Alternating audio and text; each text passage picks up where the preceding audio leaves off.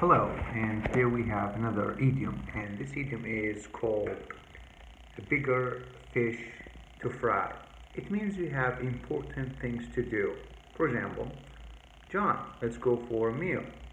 I'm sorry, I have bigger fish to fry. Thank you.